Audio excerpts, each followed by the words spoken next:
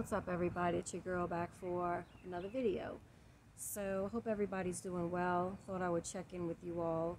I'm out here in the yard enjoying this beautiful summer day.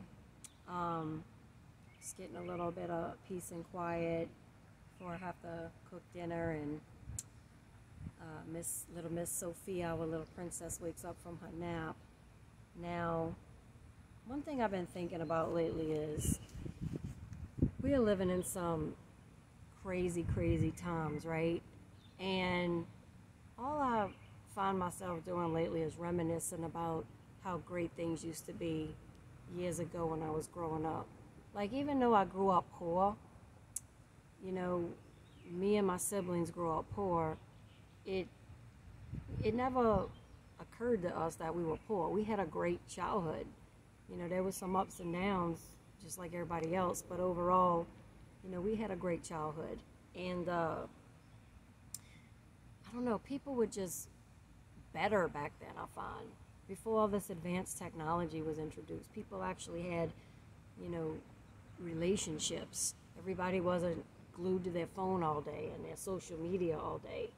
And the music was better, the, the whole culture was better.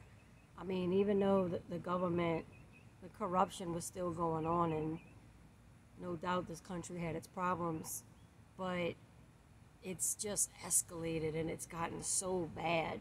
The government is so big and powerful, and they're in every aspect of our lives now. And I remember back then, teenagers had jobs and they had a a drive to want to be on their own and to do things for themselves and uh, and be independent you know and it wasn't uncommon for 18 year olds to be able to get their own apartments and have a car and a job and you didn't need much money you know back then groceries were not an arm and a leg and you weren't taxed to death and you could afford to live on your own now you're lucky to live on your own as an adult. You know, they got 40 year olds having to live with their parents now. Things have changed dramatically. Um, it was much easier to own property back then. But anyway, I just find things were so much better, and I find myself missing those days and just kind of sad that, you know, my kids won't grow up and experience that time period. I think I was like the last generation of that wonderful time period. Um, but but anyway, um, YouTube. When I started making my YouTube channel, you know, even though I hate social media, I really do. There are some things about advanced technology that I do enjoy, and when YouTube was in its infancy, I remember, um, you know, people just liked the fact that you can go to a place and see what other people, regular people just like you and I's opinion about things are. Was YouTube, right? Nowadays, YouTube has taken the you out of YouTube. You know, now they're trying to force us to watch what the Hollywood celebrity thinks about stuff or mainstream media. And they're shadowboxing channels like mine and um, bigger conservative channels.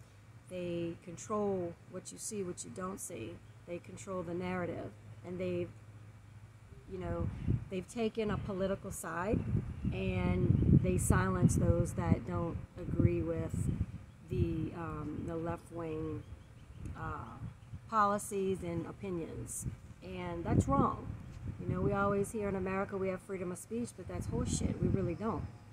The only time you have freedom of speech is when you agree with the left's policies and their narrative and you go along with it and uh, you know all these companies that run these platforms they've taken the side of the left and they use it against us and a lot of people will say well how come people right-wing people or you know independent people don't make their own platforms well they they've tried it's just the left bashes those platforms and calls anyone that uses them racist sexist homophobic bigots and attacks at every chance they get that people are afraid to go to platforms like that. People don't want to be labeled those things, you know, because the average person isn't any one of those things. They're just regular people just trying to make it and just trying to live life.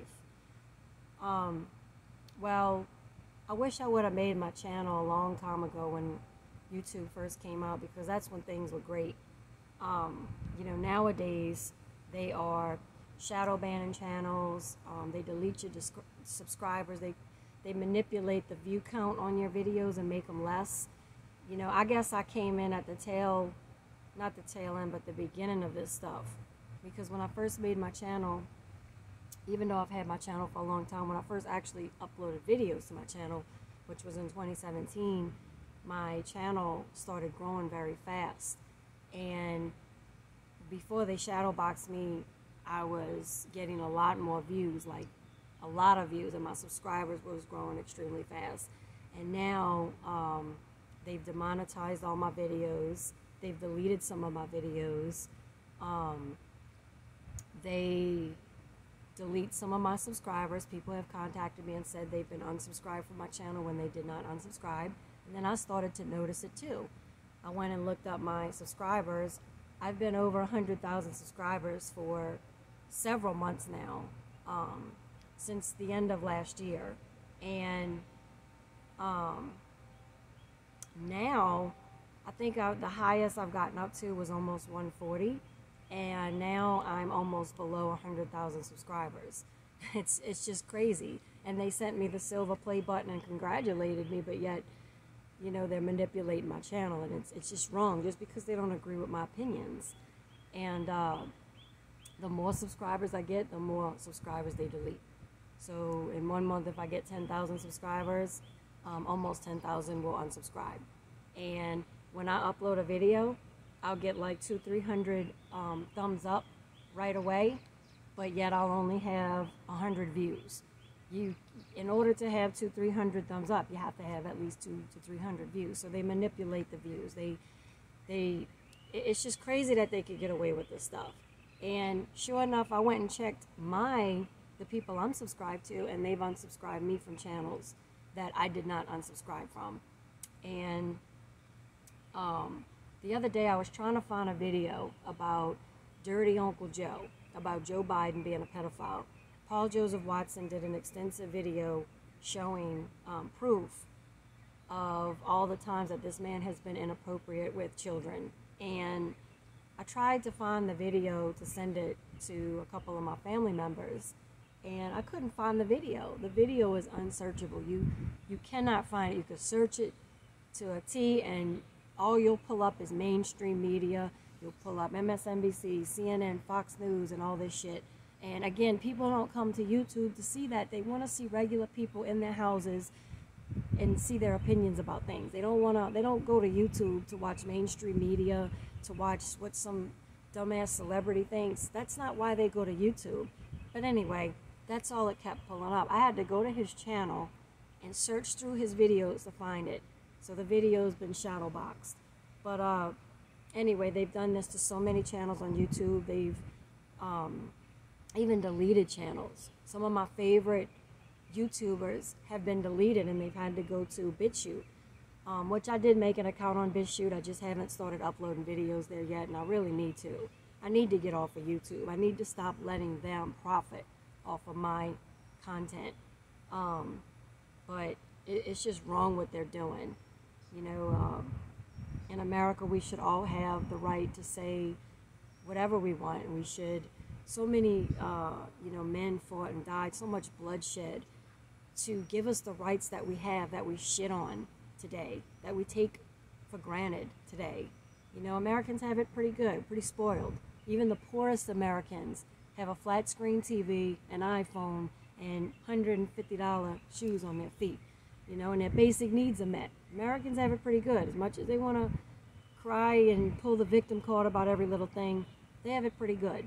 You know, if you go live under communism and socialism in other countries and you're starving to death and you're being killed for your opinions and hunted down and um, controlled with food, Americans don't know nothing about that. Even though these, you know, young millennials want that shit over here. They think they want that shit over here. They just, you know, spoiled and confused. But anyway, um, I just it just sucks what YouTube is doing to me and so many other people. Um, so they don't allow our opinions to get out there. It's not reaching as many people. They're really controlling the narrative, and they're doing this on Twitter. They do it on Facebook. They do it everywhere, and it's kind of scary because it reminds me of the modern day book burning. Okay, do y'all remember Nazi Germany in the 30s when all those uh, Nazi students were burning books, history books, any any books that went against the uh, the Nazis' narrative, they burned it. And even if it was documented history, they got rid of it and they burned it. I feel like that's what America's doing now. It's it's kind of the same thing. You know, I heard somebody reference the digital book burning, and it's so true. This is the modern day book burning that we're living in. They are bringing that same stuff over here. Um, they want socialism and communism here in America. You know, deleting history, changing history, taking people's names out of history, uh, taking down these statues and different things like that. All that is, is it's the modern day book burning, controlling um, whose opinion gets out and whose doesn't, not allowing anyone conservative to have an opinion, shutting down their channels, manipulating their channels, um, blocking them on Facebook and Twitter. It's that's all it is. It's just the modern day book burning. They're doing the same exact thing over here. And these dumbass millennials, these dumbass liberal millennials are begging for that shit to come over here in this country. Um, real quick before I let y'all go, because I've chatted enough. Uh, we are currently still kind of in lockdown here in New Orleans. The COVID 19 cases are spiking again, so they say, and they are threatening to lock the city down again. They're saying it's because people are not abiding by the rules and are take advantage, taking advantage of the, uh, the little bit of freedoms they've given us. They're blaming it on regular people, not the protesters. All these protesters that came in from out of town, it was mostly white college kids dressed in all black, Antifa. They came down, they were blocking the interstates, they were uh, causing a lot of shit down here a week ago. And COVID 19 is not spreading because of them. There's, it's spreading because of regular people like me having barbecues, having small birthday parties for their kids, and not wearing a mask in public. And the mayor has set up a COVID 19 task force, a task force, excuse me, um, where people are paid to go out and rat on people for not wearing masks, not washing their hands, not socially distancing, and not following, you know, their rules. And uh, anyway, I've been taking the time with my children since they're home. There's no summer camp, they're out of school, you know, to um, educate them on things in history. We've been watching a lot of World War One and Two documentaries. Um, we watched an entire series on Magellan TV on uh, the most evil dictators in history. And each episode is about a dictator in our history. Some examples are Mussolini in Italy, um, Kim Jong Un, North Korea, uh, Papa Doc in Africa, uh, Hitler, Nazi Germany, Stalin, Soviet Russia.